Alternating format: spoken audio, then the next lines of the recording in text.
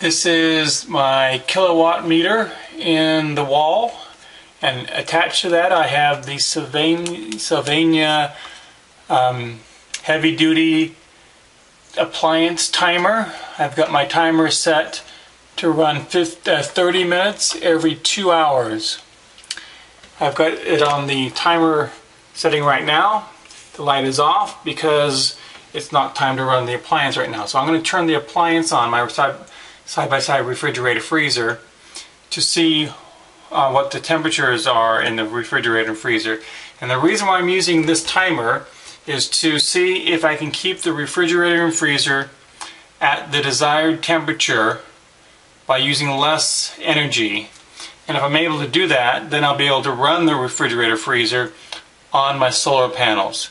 So right now, without the timer, in a 24-hour period, I use 2.5 kilowatts, which is a lot of power when you're trying to run everything off of solar.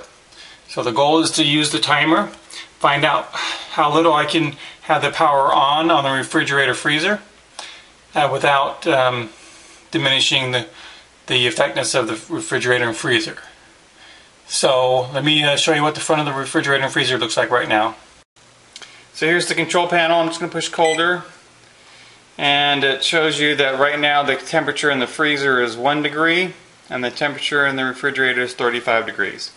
We're going to let this run for 24 hours and then we're going to see what the temperature is after running this for 30 minutes every two hours and see if that is enough time to um, enough electricity to keep things cold and to see if we can't save on electricity. So I'll be back in 24 hours.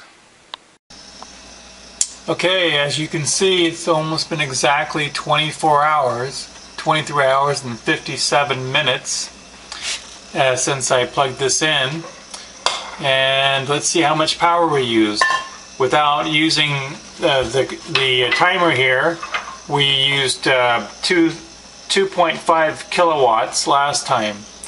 And this time, using the timer to run 30 minutes every two hours, we used 90 uh, 0.94 kilowatts. So somewhere around a third of the power that we used before. So that's pretty good power savings. Of course, it's only good if um, the refrigerator and freezer still work. So let's take a look at that. Alright, so let's take a see what the temperature was. This was at 3 degrees and now it's 15 so that's 12 degrees warmer. And here let me get down here it's 41 degrees and my wife says it's typically uh, 30 37 degrees. So that is 4 degrees warmer on the refrigerator side. So we still have we're still 17 degrees below freezing here and still it's 41 degrees in the refrigerator so that's still very very usable. So is that cold enough to keep the ice cream and the ice frozen? Let's check. Go ahead and open it up. Here's the ice maker. We got plenty of ice. Ice is looking good. So yes we can have cold drinks and here's the ice cream, Blue Bell ice cream. And let's see how that looks. And there's the ice cream, looking good. So I would say 15 degrees in the freezer definitely works. Ice and ice cream, not bad. Oh, there's my wife's soft serve. Soft serve ice cream.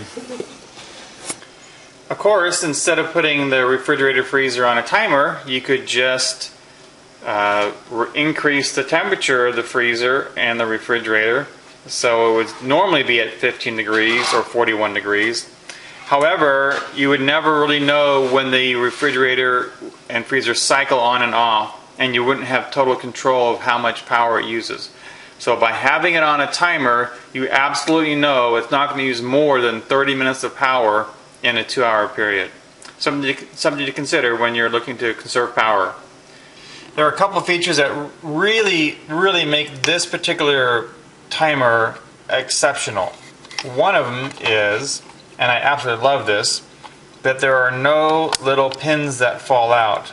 All the pins stay connected to the uh, timer and so that you don't lose any pins which is absolutely awesome they just pop up slide up and down that alone it makes this an awesome a timer second thing is it has the uh, the on the timer function so everything's working or the on function if you want to bypass that and the other feature which is this uh, extra untimed outlet so if you want to use uh, something in the timer, you plug it in here. If you want to use something that isn't timed but needs power, just plug it in here. And even though the item on the side that's on the timer uh, is working on, on a timer, the bottom one isn't. Great features. Um, it seems to be very well made. I like that, that it has a light on it so you can see that uh, whether it's on the on position or you know or the uh, timer position or if there's power going through that. So great little timer. Very, very happy with it. Um, couldn't, couldn't be any happier. It just uh, does a great, great job. This was the best consumer rated uh, timer on Amazon. It's 15 amps. It's a heavy duty appliance timer.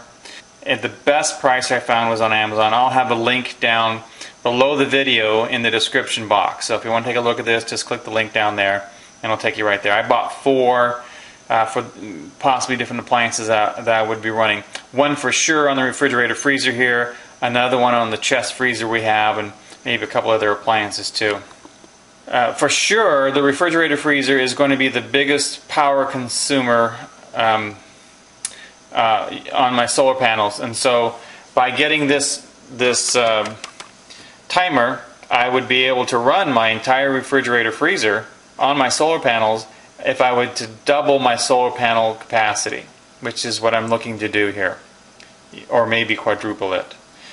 Uh, so more more information on that later. So I would say two thumbs up for the uh, Sylvania Heavy Duty Appliance Timer. Find out what works best for you in your situation. Um, another one that we, we, I'll be using this with is our window air conditioner, uh, so that we have that if we need that when we're running on solar.